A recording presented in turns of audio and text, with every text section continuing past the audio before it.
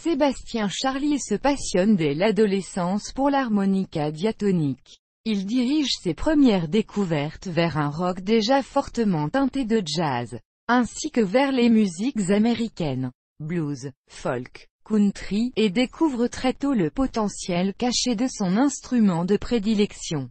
Il complète rapidement sa formation musicale par l'apprentissage d'autres instruments, banjo, guitare, flûte, sax, soprano, et contrôleur avant MIDI Yamaha WX, sorte de saxophone électronique, pour lequel la marque Nippon lui demandera d'être son démonstrateur. Au début des années 1990, Sébastien Charlier fait deux rencontres déterminantes sur les bancs de la fac, le guitariste Yves Kutulik, puis le guitariste et arrangeur Nicolas Espinas, avec qui il va réaliser de nombreux projets et choisir définitivement sa voie. Il dirige alors son travail dans plusieurs directions.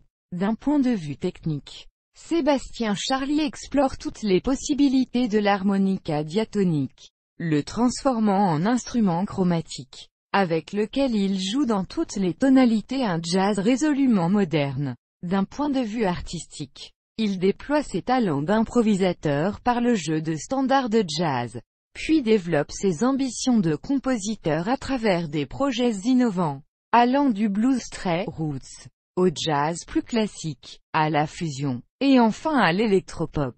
D'un point de vue humain, ses rencontres avec certains grands du milieu musical furent riches d'enseignements, passionnantes, et souvent déterminantes. Didier Lockwood, John Scott, Alain Caron, Keith B. Brown, John Barry, Gilles Cocard, Stéphane Huchard, Dominique Di Piazza, Yannick Robert, Sébastien Charlier a décidé de porter le langage bebop sur l'harmonica diatonique. Performance. Guillemets double. Nouveau talent 2005 Jazzman.